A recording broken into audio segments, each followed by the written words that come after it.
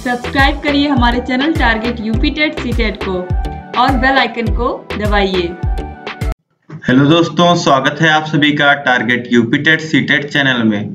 दोस्तों, इस वीडियो में हम पढ़ने वाले हैं आपके डीएलएड फ़र्स्ट सेमेस्टर के कंप्यूटर विषय के महत्वपूर्ण बिंदुओं को। और दोस्तों, यह मैं आपको इसलिए पढ़ा रहा हूँ क्योंकि आपकी समझ इन बिंदुओं को समझने के बाद और अच्छी हो जाएगी कंप्यूटर विषय की। तो आपको चीज़ों को रटना नहीं पड़ेगा। आप चीज़ें समझ लेंगे और जो भविष्य में पढ़ेंगे, वह चीज़ें इनसे रिलेट कर लेंगे तो आपको चीज़ें रटनी नहीं पड़ेंगी और अच्छे से आप एग्ज़ाम में लिख के आएँगे और अच्छे मार्क्स लेकर के आएँगे। तो इसीलिए आपका यह महत्वपूर्ण बिंदु जो है कंप्यूटर विषय के, इनको जानना बहुत ज़रूरी है दोस्तों। आप इन्हें ध्यान से देखिएगा। मैं ध्यान से एक एक पॉइंट आपको पढ़ाते हुए चल रहा हूँ।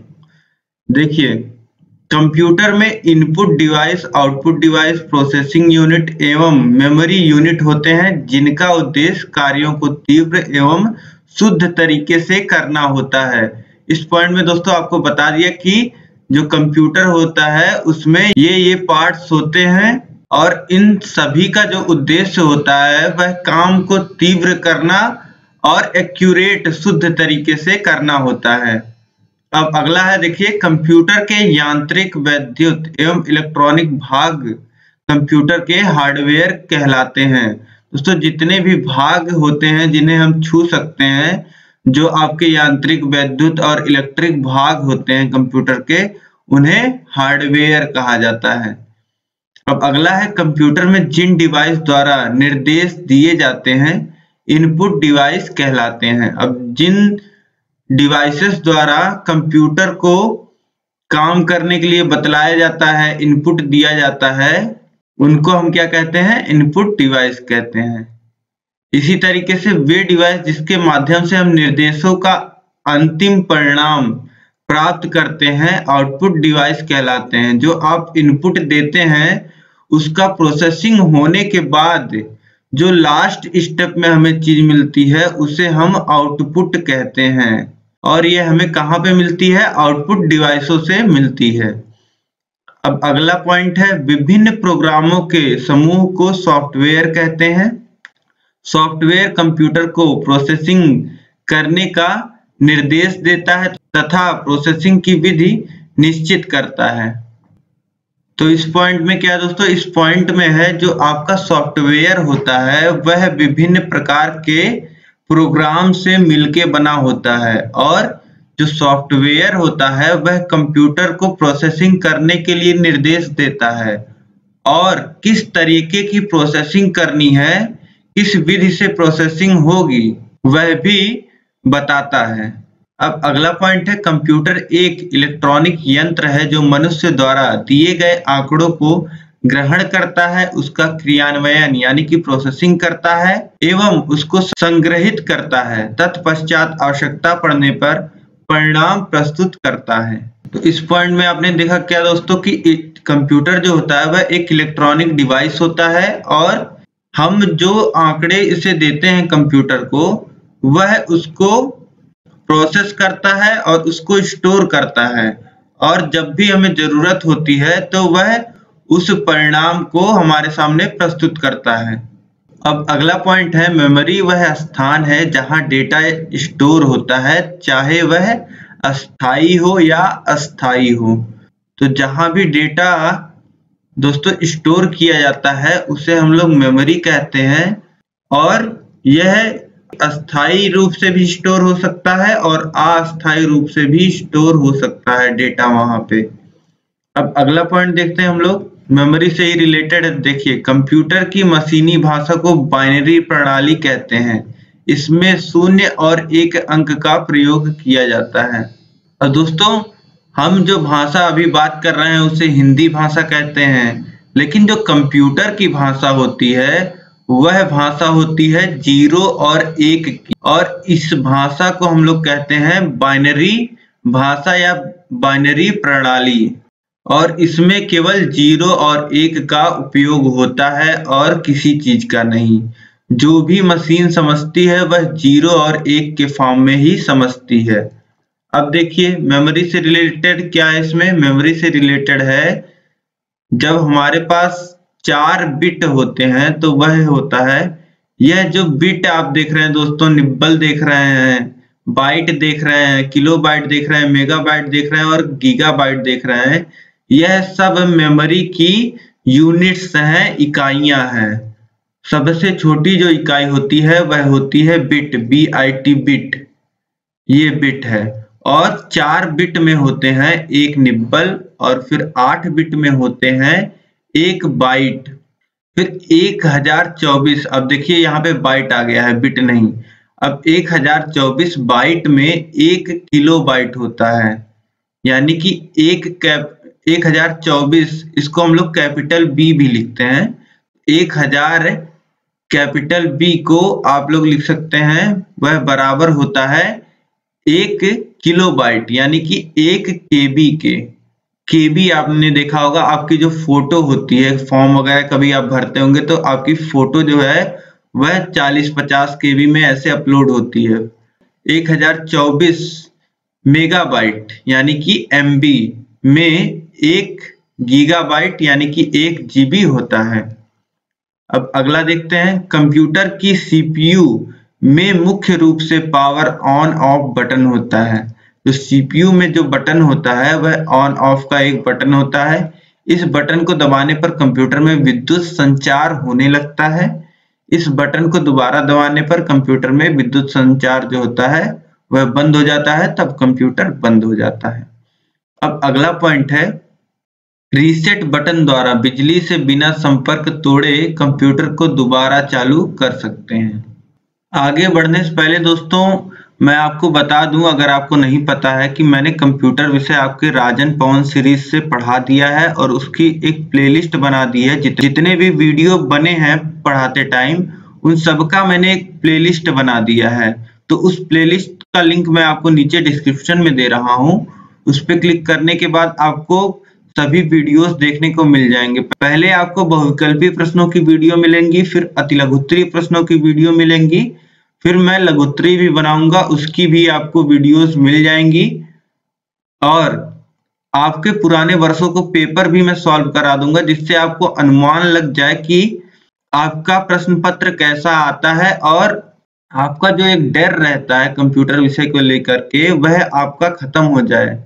तो यहाँ पर हम मुख्य पॉइंट भी देख रहे हैं आपके, जिससे आपका जो कॉन्सेप्ट है, वह क्लियर हो रहा है, आपका बेस तैयार हो रहा है।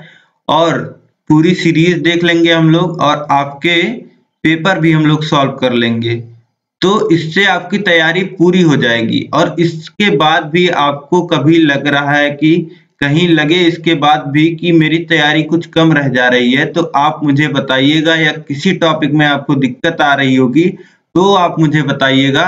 मैं आपको वह टॉपिक अलग से वीडियो के माध्यम से पढ़ा दूँगा। कोई दिक्कत नहीं दोस्तों। आपको जहाँ भी दिक्कत आ रही है, आप कमेंट में बताइए, आपकी सारी प्रॉब्लम सॉल्व की जाएगी। बस आपको मेहनत से, ध्यान से पढ़ना है और अच्छा स्कोर करना है। अब देखिए दोस्तों, अगला पॉइंट है कीबोर्ड माउस आदि कंप्यूटर के इनपुट डिवाइस हैं। ये तो सबसे पहले हम लोग पढ़ते हैं। अब देखिए, दूसरा है, अगला पॉइंट है माउस का बटन दबाकर एक स्थान से दूसरे स्थान तक ले जाने। यानी ड्रैगिंग पर वह स्थान काला हो जाता है, इसे, जिसे सेलेक्ट कहते हैं। आप जब माउस को दबा करके एक स्थान से दूसरे स्थान पर ले जाते हैं तो नीला या फिर काले में जो टेक्स्ट होता है, जो चीज़ें होती हैं, वह सेलेक्ट हो जाती हैं। तो इसी को हम लोग, ये जो ड्रैगिंग का प्रोसेस होता है, इसी को हम लोग सेलेक्शन या सेलेक्ट कहते हैं। अब अगला है, स्क्रीन पर एक घड़ी यह संकेत करती है कि कंप्यूटर आंतरिक रूप से कार्य कर रहा है। इसका जब तक इंतज़ार करना पड़ता है, जब तक यह फिर से तीर ना बन जाए। अब अगला पॉइंट है फ़ंक्शन की F1 से F12 तक होती है। दोस्तों कीबोर्ड में आप देखेंगे तो कंप्यूटर के तरफ़ से जो पहली लाइन होती है कीज की, उसमें आप देखेंगे तो F वन से लेकर के एफ़ ट्वेल्व यह बारह बारह बटने होती हैं। एफ़ का मतलब होता है दोस्तों फ़ंक्शन इसीलिए इन्हें हम फ़ंक्शन कीज कहते हैं। इनका अलग अलग कार्य होता है तो यह संख्या में बारह होती हैं और इन्हें हम फ़ंक्शन कीज कहते हैं। F1 से लेके F12 अब अगला है न्यूमेरिक की पैड कीबोर्ड के दाई ओर होती है।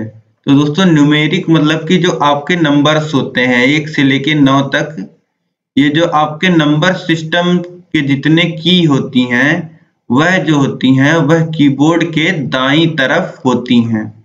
अब अगला पॉइंट है कैप्स लॉक और शिफ्ट बटन को दबाकर बड़े अक्षर टाइप होते हैं।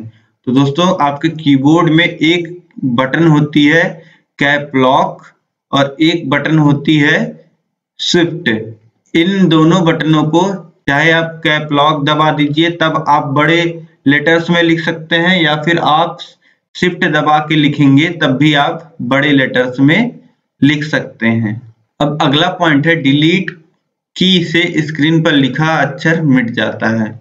दोस्तों डिलीट बटन अगर आप दबाते हैं तो जो भी स्क्रीन पे लिखा रहता है, वह डिलीट हो जाता है, मिट जाता है। अगला है, डेस्कटॉप पर नीली पट्टी को टास्क बार कहा जाता है, कहते हैं। फिर अगला है, स्क्रीन पे छोटे छोटे चित्र, आइकन कहलाते हैं। दोस्तों, जो विभिन्न एप्लीकेशंस होती हैं, उनके जो छोटे छोटे चित्र आपको दिखते हैं, उन्हें हम आइकन कहते हैं। अब अगला है, सबसे ऊपर नीली पट्टी को टाइटल बार कहते हैं। अब टाइटल बार के देखिए, टाइटल बार के नीचे वाली पट्टी जो होती है, उसे मेन्यू बार कहते हैं तथा इसके बाद की पट्टी जो होती है, उसे टूल बार कहते हैं। अगला पॉइंट है कंप्यूटर नेटवर्क आपस में जुड़े हुए कंप्यूटरों का एक जाल है, जो भौगोलिक रूप से अलग अलग रखे हुए होते हैं। अब दोस्तों कंप्यूटर नेटवर्क की बात कर रहा है इसमें तो कंप्यूटर नेटवर्क क्या होता है कि यह जो होते हैं, कई सारे कंप्यूटर्स जो आपस में जुड़े हुए होते हैं और कहीं दूर दूर स्थित होते हैं अलग अलग जगहों पे स्थित होते हैं। तो ऐसे कंप्यूटर जो अलग अलग जगहों पे स्थित होते हैं और एक नेटवर्क से जुड़े होते हैं, उसी को हम कंप्यूटर नेटवर्क कहते हैं। जिसका एक एग्ज़ाम्पल दोस्तों, इंटरनेट भी है और देखिए अगले पॉइंट में इंटरनेट के बारे में क्या लिख रहा है? इंटरनेट देश विदेश में रखे कंप्यूटरों की नेटवर्किंग है, जो सैटेलाइट के माध्यम से जुड़े होते हैं। तो दोस्तों यहाँ पे इंटरनेट भी एक कंप्यूटर नेटवर्किंग है, जो सैटेलाइट के माध्यम से काम करती है और देश विदेश के विभिन्न कंप्यूटर इसके माध्यम से जुड़े होते हैं। अब अगला पॉइंट है सर्वर कंप्यूटर या प्रोग्राम नेटवर्क में स्थित किसी अन्य कंप्यूटर या प्रोग्राम को सेवा प्रदान करता है। तो दोस्तों जो सर्वर कंप्यूटर होता है, वह नेटवर्क में जो कंप्यूटर स्थित होते हैं, वह उन कंप्यूटरों को सेवा प्रदान करने का काम करता है। जैसे अभी यह वीडियो जब आप देख रहे हैं तो अगर मान लेते हैं आप कंप्यूटर पे देख रहे हैं या अपने मोबाइल पे देख रहे हैं तो जो YouTube का सर्वर है, वहाँ से यह वीडियो डाउनलोड हो रही है। उसके बाद मतलब YouTube का सर्वर आपको सेवा प्रदान कर रहा है या वीडियो चला रहा है, तब आप इस वीडियो को देख पा रहे हैं। तो यही काम होता है। सर्वर कंप्यूटर जो होता है, वह नेटवर्क में उपस्थित दूसरे कंप्यूटर को सेवा प्रदान करता है। अब अगला पॉइंट है, कंप्यूटर के माध्यम से सूचनाओं का आदान प्रदान ईमेल कहलाता है। तो कंप्यूटर पे दोस्तों, अगर आप कोई सूचना भेज रहे हैं या ले रहे हैं तो इसे हम लोग ईमेल कहते हैं। पहले जो होता था, पहले हम लोग खत के माध्यम से अपनी सूचनाएँ भेजा करते थे। लेकिन जब से कंप्यूटर और इंटरनेट आ गए हैं, तब से हम लोग इलेक्ट्रॉनिक मेल भेजते हैं। इसी को ईमेल बोलते हैं शॉर्ट फॉर्म में। तो जो सूचनाएँ कंप्यूटर के माध्यम से आदान प्रदान की जाती हैं, उसे हम ईमेल कहते हैं। अब अगला पॉइंट है, कंप्यूटर की नेटवर्किंग में प्रेषक, ग्राही और माध्यम होता है। तो दोस्तों, जहाँ भी नेटवर्किंग होती है, वहाँ पर एक प्रेषक होता है और एक ग्राही होता है और एक माध्यम होता है। अब अगला पॉइंट है, दूरी के आधार पर नेटवर्किंग के दो तरीके हैं। तो दूरी के आधार पे दो नेटवर्क होते हैं दोस्तों। एक लोकल एरिया नेटवर्क होता है, जिसे लैन भी शॉर्ट फॉर्म में बोलते हैं। एल ए एन लैन भी आपको लिखा हुआ देखने को मिल जाएगा। तो यही होता है वह लोकल एरिया नेटवर्क और दूसरा होता है wide area network W A N van local area network जैसे कि नाम से पता चल रहा है, इसका एरिया जो होता है दोस्तों, वह कम होता है और वाइड एरिया में क्या होता है, यह एरिया बहुत बड़ा होता है नेटवर्क का। अब अगला देखिए क्या लिख रहा है वर्ल्ड वाइड वेब यह सर्वर का समूह होता है जो हाइपर टेक्स्ट के माध्यम से जुड़ा होता है। अब अगला पॉइंट है दोस्तों ब्राउज़र एक ऐसा प्रोग्राम है जो उपभोक्ता और वेब सर्वर के बीच संबंध स्थापित करता है। जैसे दोस्तों, आप मोबाइल में देखते हैं, आपका क्रोम ब्राउज़र होता है यूसी ब्राउज़र होता है, वैसे ही आप कंप्यूटर में देखेंगे तो इंटरनेट एक्सप्लोरर होता है फायरफॉक्स होता है और गूगल क्रोम ब्राउज़र होता है।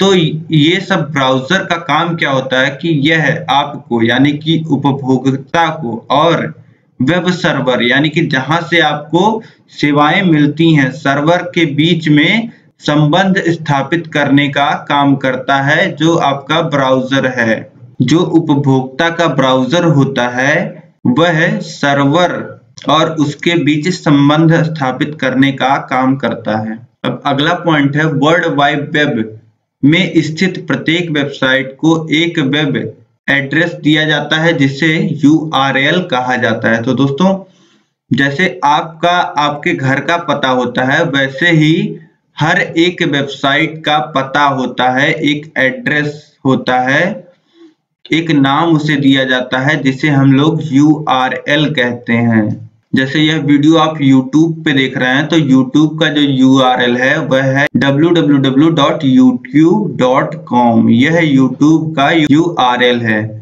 तो दोस्तों, यहाँ पे जो सभी महत्वपूर्ण पॉइंट्स हैं, वह आपके खत्म होते हैं।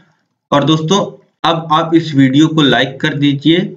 और चैनल को अभी तक आपने सब्सक्राइब नहीं किया हुआ तो सब्सक्राइब करके उसके बगल बेल आइकन होगा, घंटी का निशान होगा दोस्तों। घंटी पे दोस्तों आप क्लिक करेंगे तो ऑल के ऑप्शन पे आप क्लिक कर लीजिएगा, जिससे सभी नोटिफिकेशन आपको मिल पाए।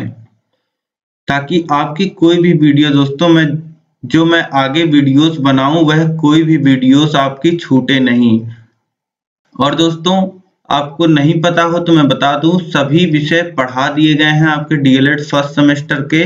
जो सभी विषयों के प्लेलिस्ट का लिंक है, वह नीचे मैं डिस्क्रिप्शन में दे रहा हूँ। जब आप किसी भी विषय के प्लेलिस्ट के लिंक पे क्लिक करेंगे तो आपको उस विषय के सभी प्रकार के प्रश्नों के वीडियोस देखने को मिल जाएँगे। पहले आपको बहुविकल्पी प्रश्न देखने को मिलेंगे, फिर अति लघुत्तरीय फिर लघुत्तरीय प्रश्न, और फिर पुराने वर्षों के पेपर देखने को मिल जाएँगे दोस्तों। और दोस्तों, इसके बाद आप मुझे बताइए, आपको कंप्यूटर विषय में कहाँ दिक्कत आ रही है, किस टॉपिक में? और कोई सवाल या सुझाव हो तो वो भी आप बताइए। बाकी दोस्तों, मिलते हैं नेक्स्ट वीडियो में। और यह वीडियो देखने के लिए आपका बहुत बहुत धन्यवाद। जय हिंद।